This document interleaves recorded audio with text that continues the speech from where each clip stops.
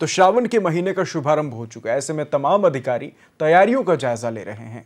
गंगा घाटों का निरीक्षण लिया जा रहा है। इसी दौरान भक्तों की सुरक्षा में लगे जवानों को ज़रूरी दिशा निर्देश भी दिए जा रहे हैं। किसी भी तरह की लापरवाही से बचने के निर्देश भी तमाम कर्मचारियों को दिए गए हैं। ड्रोन कैमरों से तमाम जगहों पर नज़र रखी जा रही पूरी रिपोर्ट देखिए।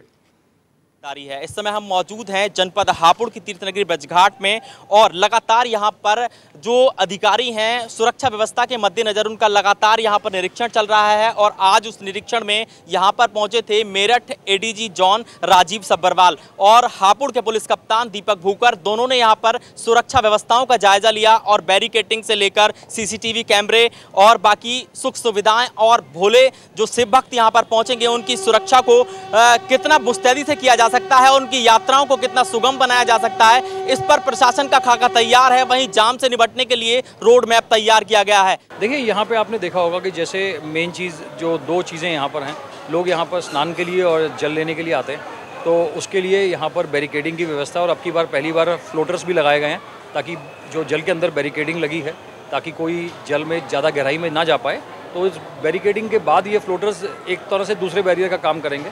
इसके साथ साथ हमारी जल पुलिस की टुकड़ी भी है यहाँ पे, और हमने लोकल गोताखोर भी लिए हैं, जो कि यदि कोई किसी प्रकार का, कोई किसी का पाँव स्लिप कर जाए या कहीं गहराई में चला जाए तो उसको वहाँ से निकालने में फ़ायदेमंद होगा।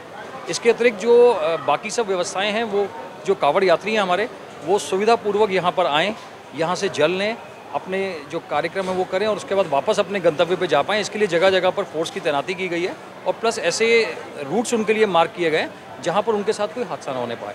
इसके अतिरिक्त जो हमारी घाटों की एंटी सेबोटाइज चेक है, बाकी जो हमारी टीमें हैं जो सादे में लगी रहेंगी पब्लिक के साथ हमारे कुछ हमने स्पेशल पब्लिक वाले भी अपने साथ रखे हैं, जो इधर उधर सब लोग, किसी की भी कोई समस्या है, उसके लिए हमारा कंट्रोल रूम है, जहाँ पर वो जाकर लोगों को बता सकते हैं।